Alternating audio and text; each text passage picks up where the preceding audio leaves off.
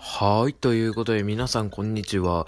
ここは、近鉄大阪線と京都線が交わる駅として有名な、近鉄大和八木駅です。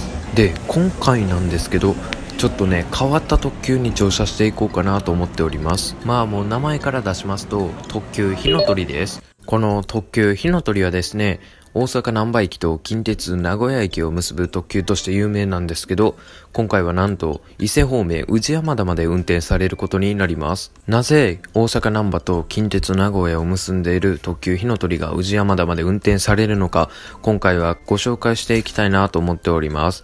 ではですね、今回の動画もよろしくお願いいたします。さあ、奥の方から見えてきました赤色の車両、これが特急火の鳥です。今回は宇治山田終点まで乗りたいと思います。早速、違和感ありありの特急火の鳥宇治山田行きに乗車します。はい、えー、まず車内に入りますとですね、いい匂いがします。そして扉を一つ、もう一つ開けていきます。そしたらプレミアムシートが見えます。大和八木駅をわずか3分ほど停車した後特急火の鳥は宇治山田に向けて発車していきます宇治山田までは約1時間15分の旅路です。列車は大和八木駅を出ると伊勢市宇治山田の順に止まります。途中の名張伊勢中川には止まりません。通過扱いとなります。お待たせしました。近鉄特急。火の鳥をご利用いただきましてありがとうございます。次は伊勢市。さあ簡単にですね今から火の鳥の座席の紹介をしたいと思います。まずはですね電動リクライニングっていうのがあります。いろんなボタンがあるんですけど一番手前のボタンを押していくと足元にあるレッグレストみたいなやつが動きます。次にちょっとね分かりにくいんですけどリクライニングはこれぐらい倒れます。ちょっとわからないんですけど興奮していますね。はい。めちゃくちゃ興奮してますねこの時。そして肘掛けのところに蓋があります。これをパカッと開けるとテーブルが出てきます。テーブルを広げてみるとですねこんな感じになります。東北新幹線や北陸新幹線のグランクラスの机もこういう風になってると思います。多分。でなんかガッツポーズしていますね。列車は15分ほど走ると奈良県の宇陀市に入ります。この宇陀市を抜けると間もなく三重県へ入ります。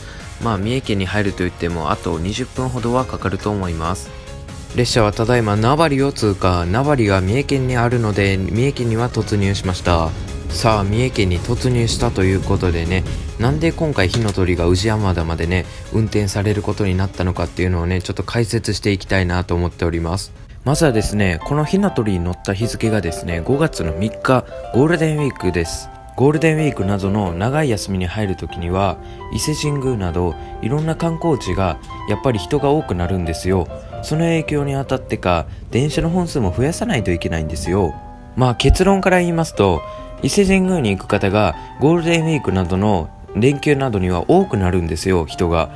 なのでこういう特急を走らせないといけないんですよ。で今乗車している特急火の鳥もそうでまあ本数を増やすとともに観光客をね大阪とか京都から集めるためにこの火の鳥は運行されております。まあそういうね近鉄はですねゴールデンウィークとかお正月になるとね臨時列車っていうのがね結構運転されるんでねぜひ皆さんもお正月など乗ってみてはいかがでしょうか。この特急火の鳥にもね。さあ、えげつないほど大雑把な説明、解説を終えたところで、列車は三重県の青山付近を走行中です。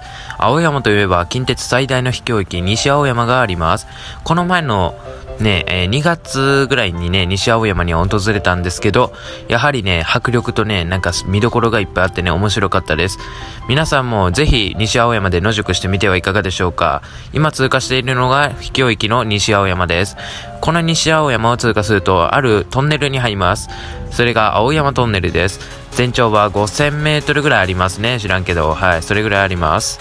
列車はですね、三重県の県庁所在地、津にあります東青山駅を通過中です。この先、大光、伊勢石橋を通過して、まもなく伊勢中川を通過します。今走行しているところは近鉄で有名なデルタ線です。デルタ線とは3方向からの路線が集まり、地点をこの配線とした場合、列車の進行方向を変えずに、どの方向からどの方向へも直通できることをデルタ線と言います。今乗車しているこの電車は大阪上本町方面から来ましたが別に近鉄名古屋方面伊勢中川方面とどちらの方面も行けます。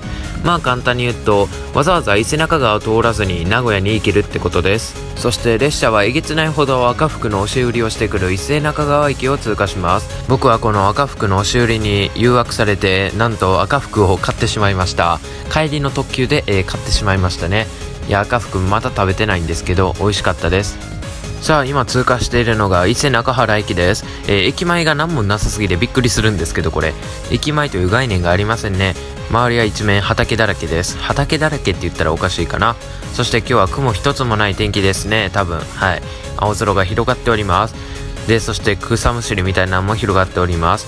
今日はいい天気ですね。列車は JR 東海と近鉄の乗り換え駅でもある松阪駅を通過していきます。皆さんは松阪といえば何を思い浮かべますか？僕はですね松阪といえば松阪といえばですねやっぱり松阪牛を思い浮かべますね。もうぜひねもうこれね降りて食べたいんですけどなんとこの火の鳥はですね通過していくんですよね。松阪にはもう目を向けずにねなんかゆっくりとしたね速度で通過していきます。いや、いつか降りてね、松阪牛のね、カレーを食べてみたいですね。はい。絶対ね、松阪牛のカレーって美味しいと思うんですよね。やっぱりお肉ってね、ぐあのね、柔らかいんですよ、松阪牛みたいなやつはね。はい。そしてどっかの駅を通過していきます。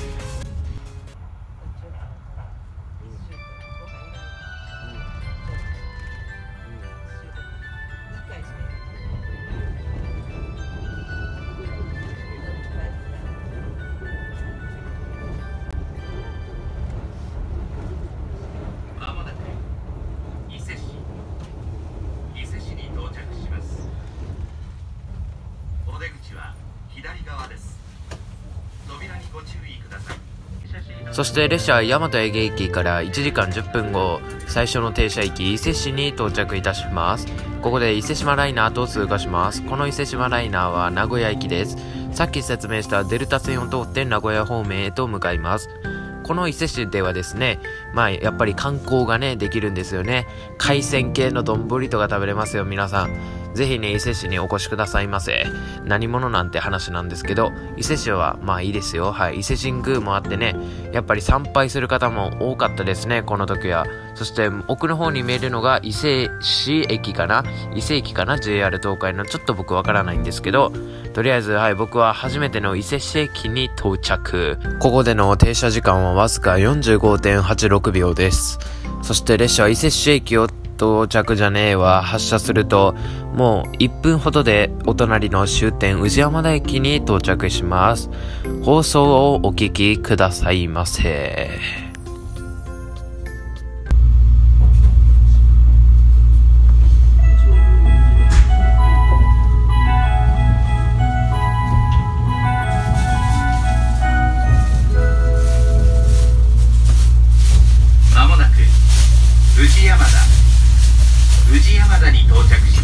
さあ放送を聞いてもらうとなんかすっげえメロディーが流れて天井が青く光りました。なぜこれ天井が青く光るかと言いますと、これはですね、荷物棚にね、荷物を置いている人にね、知らせるためです。忘れ物しないように、後ろ、え、ないですかみたいなね、確認をするためにこれね、天井青くなってるんですよね。荷物棚に忘れ物がないように、このような工夫がしてあるんですよね。まあ、近鉄ってこういうことしてあるって結構すごいと思うんですよ。はい、知らんけど。さあ、1時間15分後、列車は宇治山田駅終点に到着しました。この時はですね、賢島に行く用事があったんでね、もうこの先も特急乗って進めていたんですけど、まあとりあえず今回の動画はこの辺で終わりにします。最後に出てね、はい、終わりたいと思います。プレミアムやっぱり快適でした。快適でしたね。もう最後までカミカミです。はい。やっぱり車内も綺麗でね、とことん火の鳥は綺麗でした。ということで降りていきます。今回はですね、謎の特急、火の鳥宇治山田行きについてご紹介してみましたが、いかがだったでしょうか？あのね、こういう特急はですね、長期休みとかね、長い休みに入った時に運転されるので、皆さんもぜひその時は乗ってみてください。今回は火の鳥宇治山田行きのちょっとレアな特急の紹介でした。最後までご視聴いただきましてありがとうございました。また次回の動画でお会いしましょう。ありがとうございました。